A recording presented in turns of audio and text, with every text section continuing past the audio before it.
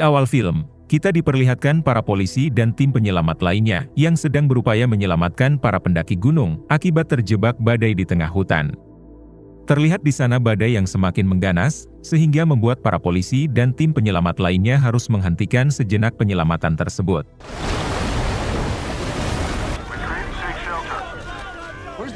Ketika yang lain sedang sibuk mencari tempat berlindung, tiba-tiba datanglah seorang pria menunggang kuda, yang malah mendekati badai itu untuk melanjutkan penyelamatan para pendaki.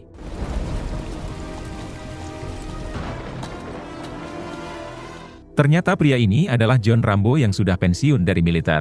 Di sini John menemukan satu pendaki, namun sayangnya pendaki tersebut sudah tewas. Ketika John melanjutkan pencariannya, ia menemukan pendaki sepasang suami istri yang sedang ketakutan. Di sini si suami meminta John agar membawa si istri menggunakan kudanya, sementara dirinya akan berlari untuk menghindari banjir besar yang sebentar lagi akan datang. Hingga tak lama kemudian datanglah banjir besar yang akan menerjang John. John yang sudah terbiasa menghadapi berbagai macam situasi, ia pun mengikat dirinya dan si wanita yang ditolongnya di sebuah batu besar.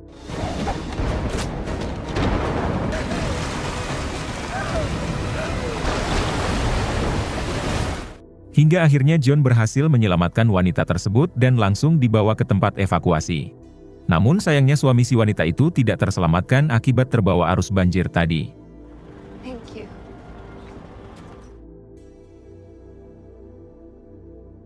Beberapa hari kemudian kita dibawa ke kediaman John yang saat ini tinggal di perbatasan Amerika-Meksiko. Setelah pensiun dari militer, kini John menghabiskan masa tuanya dengan mengelola peternakan kuda miliknya sendiri.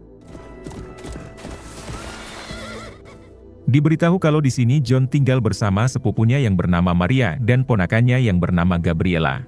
Di sini kita juga diperlihatkan John yang mempunyai ruang bawah tanah, sebagai tempat penyimpanan persenjataan John dan juga tempat pembuatan senjata seperti pedang dan panah. Terlihat John juga sangat menyayangi Gabriela dan sudah menganggap Gabriela seperti anaknya sendiri.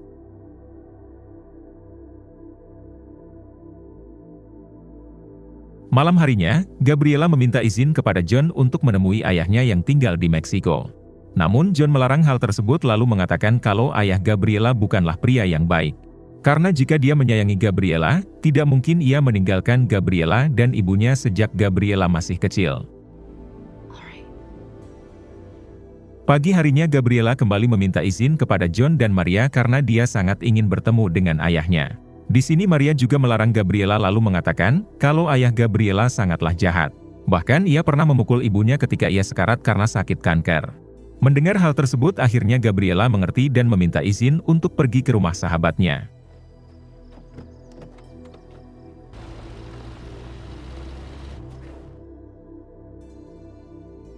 Ketika di perjalanan ternyata Gabriela membohongi John dan Maria, karena saat ini ia malah pergi ke Meksiko untuk menemui ayahnya. Sesampainya di Meksiko, terlebih dulu Gabriela menemui temannya yang bernama Lucy, lalu meminta Lucy agar mengantar dirinya menemui si ayah. Sesampainya di rumah si ayah, Lucy menunggu di mobil, sedangkan Gabriela segera mengetuk pintu rumah si ayah. Ketika dibuka, terlihat si ayah yang sudah mempunyai keluarga baru di Meksiko. Di sini Gabriela langsung menanyakan alasan si ayah, yang telah tega meninggalkan Gabriela bersama ibunya. Dengan tega, si ayah menjawab kalau dirinya sangat tidak menginginkan Gabriela dan ibunya, karena mereka berdua sangat tidak ada artinya bagi si ayah. Dengan perasaan yang sangat hancur Gabriela pun kembali ke mobil untuk segera pulang. Di sini Lucy malah membawa Gabriela ke klub malam, karena ia ingin mencoba menghibur Gabriela. Tak lama kemudian Gabriela didatangi oleh pria bernama Anton dan langsung mengajak Gabriela mengobrol. Di tengah obrolannya, terlihat Anton yang memasukkan obat bius ke minuman Gabriela tanpa Gabriela ketahui.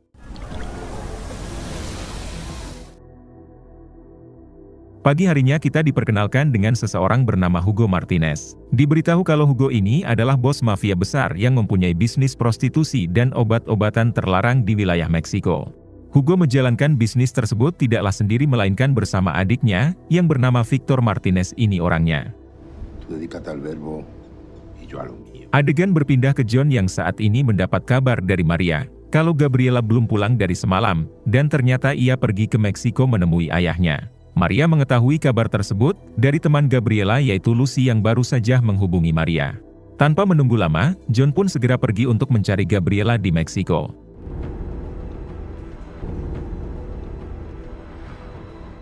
Di sisi lain kita diperlihatkan Gabriela yang saat ini dikumpulkan dengan wanita lainnya. Ternyata semalam Gabriela diculik oleh Anton yang merupakan anak buah Hugo dan Victor, yang akan menjadikan Gabriela wanita pemuas para gadun. Di sini Victor mengancam tidak akan segan-segan untuk menghabisi mereka, jika salah satu dari mereka mencoba kabur. Kembali ke John yang baru sampai di Meksiko dan langsung mendatangi ayah Gabriela. Di sini John langsung mengamuk dan menanyakan di mana Gabriela. Namun si ayah mengatakan kalau Gabriel tidak lama di sini karena dia telah mengusirnya. Setelah itu John juga mendatangi Lucy yang sedang di rumahnya untuk menanyakan Gabriela. Lucy menjawab kalau dia terpisah dengan Gabriela, dan ia juga sudah mencoba mencari Gabriela ke semua tempat, namun tidak menemukannya. John yang tidak bodoh, ia pun mengetahui kalau Lucy sedang berbohong, karena gelang Gabriela saat ini dipakai oleh Lucy. Dengan sigap John pun mengancam akan menghabisi Lucy, jika ia tidak mengantarkan ke klub itu dan memberitahu siapa yang telah menculik Gabriela. Karena takut, Lucy pun mengantarkan John ke klub tersebut.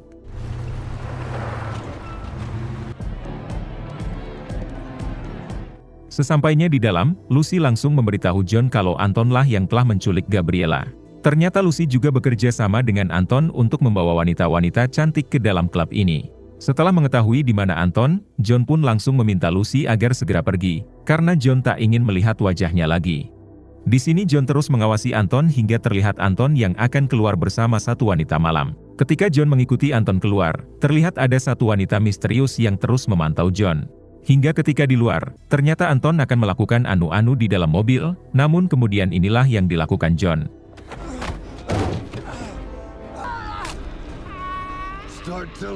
Setelah menyiksanya dengan sangat brutal, John menanyakan di mana Gabriela. Anton yang tak kuat menahan siksaan akhirnya bersedia untuk mengantarkan John ke tempat Gabriela. Di sana terlihat juga si wanita misterius yang mengikuti John ke tempat di mana Gabriela. Sesampainya di tujuan, John langsung menghajar Anton hingga membuatnya tewas. Kemudian dengan mode senyap, John memasuki tempat tersebut. Di dalam ruangan ternyata banyak polisi korup yang sengaja Hugo datangkan untuk diberi persembahan yaitu para wanita-wanita baru yang akan mereka cicipi. Kembali ke John yang saat ini masih terus mencoba untuk masuk. Namun sayangnya salah satu anak buah Hugo melihat John yang harus membuat John menjadi terkepung.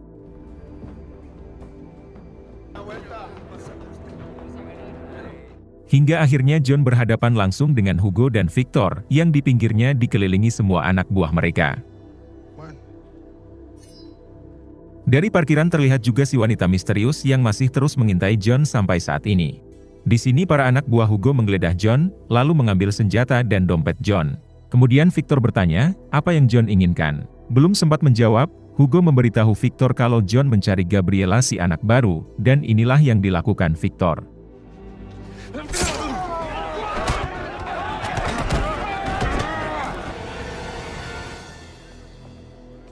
Setelah John babak belur, John kembali disiksa oleh Victor hingga membuatnya sekarat.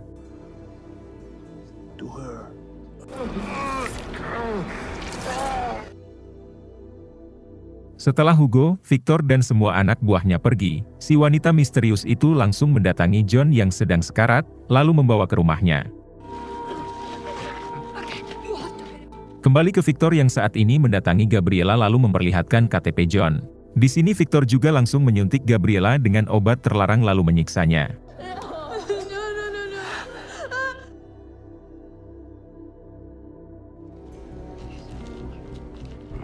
Empat hari kemudian terlihat John yang saat ini baru saja sadar dari komanya. Di sini John langsung bertanya, kenapa wanita misterius itu menyelamatkannya dan siapakah dia. Wanita itu menjawab kalau dirinya bernama Anna, dan ternyata Anna juga mempunyai misi yang sama dengan John yaitu memburu Hugo dan Victor. Anna menjelaskan kalau tiga tahun lalu adiknya diculik oleh Hugo lalu diperdagangkan hingga akhirnya tewas, karena terlalu banyak disuntikan obat-obatan terlarang. Di sini John berjanji akan membalas perbuatan mereka, apalagi saat ini Gabriela masih diculik oleh mereka. Kemudian Anna pun memberitahu John tempat di mana dia bisa menemukan Gabriela. Tanpa menunggu lama, John langsung mendatangi tempat tersebut dengan berpura-pura menjadi pelanggan. Ketika di dalam, John tidak banyak basa-basi dan inilah yang terjadi.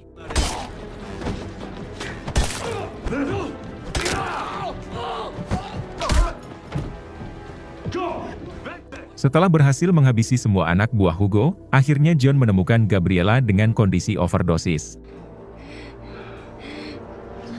Dengan cepat John pun segera membawa Gabriela pulang. Di tengah perjalanan, John mengembalikan gelang Gabriela yang dulu dicuri Lucy. Kemudian John mengatakan kalau dia sangat menyayangi Gabriela melebihi dari apa pun. Bahkan alasan John kenapa ia selalu memenangkan peperangan saat di militer, yaitu karena Gabriela. Setiap John mengingat Gabriela, semangatnya kembali membara dan ia berjanji tidak akan mati di medan perang karena ia ingin membesarkan Gabriela. Mendengar semua itu, Gabriela pun tersadar lalu meminta maaf dan berterima kasih kepada John. Namun sayangnya setelah itu Gabriela harus tewas.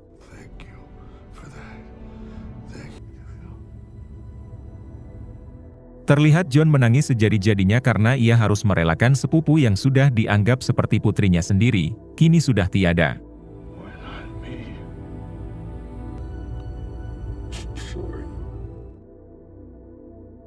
Ketika sampai di rumah dengan perasaan yang sangat hancur, John pun memberitahu Maria kalau Gabriela sudah tewas.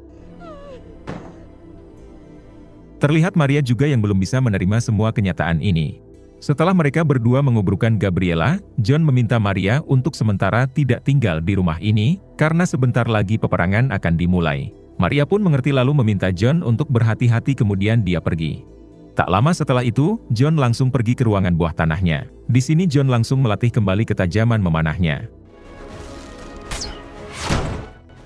Setelah itu John mengasah semua pedang dan persenjataannya yang dulu ia simpan. John juga merakit beberapa bom lalu membuat jebakan-jebakan yang sangat mematikan karena sekarang, ia berniat akan memancing Hugo dan semua anak buahnya agar datang ke rumah John.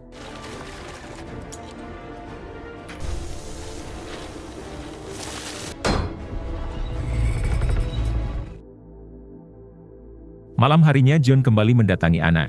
Di sini John mengatakan kalau saat ini dia akan membuat Hugo dan Victor benar-benar merasa kesakitan hingga membuatnya tewas. John pun meminta alamat tempat tinggal Victor kepada Anna, karena sekarang target pertama John adalah Victor. Sesampainya di rumah Victor, dengan sangat brutal John langsung menghabisi satu persatu anak buahnya yang berjaga.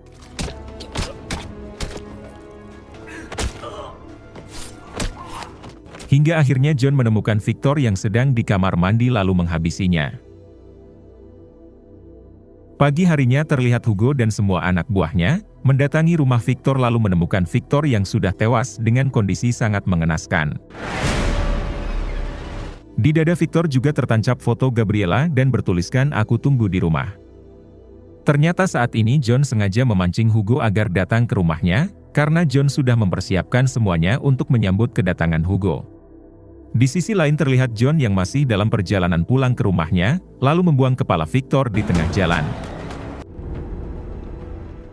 Sesampainya di rumah, John langsung menunggu di ruang bawah tanah sambil mengasah pisaunya. Sedangkan Hugo sendiri dengan cepat mengerahkan semua anak buahnya untuk menyerang John ke rumahnya. Singkat cerita, kini Hugo dan semua anak buahnya sudah sampai di rumah John dan mereka langsung berpencar. John yang mengetahui kedatangan mereka, terlihat ia sangat bersemangat untuk membantai mereka semua dan inilah yang terjadi.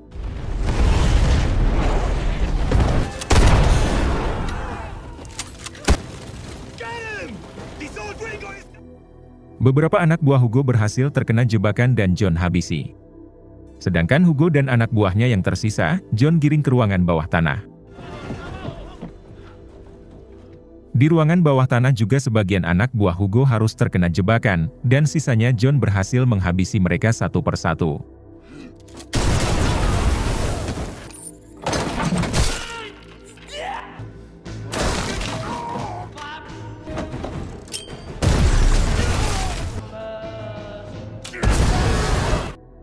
Setelah semua anak buah Hugo dihabisi, John sengaja menyisakan Hugo karena John ingin menghabisi Hugo dengan cara yang begitu menyakitkan. Di sini John menggunakan radio HT-nya lalu memberitahu Hugo kalau dia akan meledakkan tempat ini. Maka dari itu Hugo harus segera berlari mengikuti petunjuk lampu yang sudah John buat.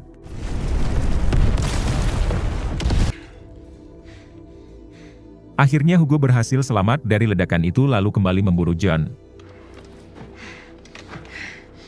Sayangnya dari atas John sudah siap memanah Hugo hingga berhasil mengenai kedua bahu Hugo dan kedua kaki Hugo.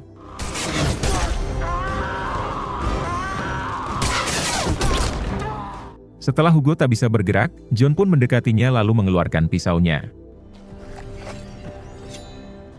Terlihat Hugo sangat ketakutan, karena sekarang John akan benar-benar membuat Hugo merasakan sakit yang begitu sakit dan inilah yang dilakukan John.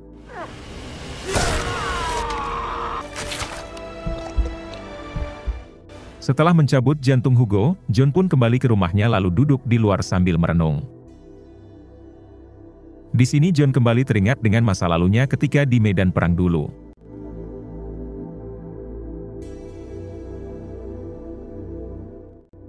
Kemudian John mengatakan, kalau sekarang orang-orang yang dia sayang kini telah menghilang.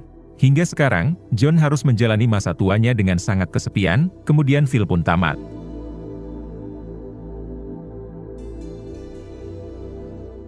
Terima kasih yang sudah menonton sampai akhir. Semoga kalian diberikan kesehatan dan rizki yang melimpah. Salam untuk semuanya dari Hampura Film.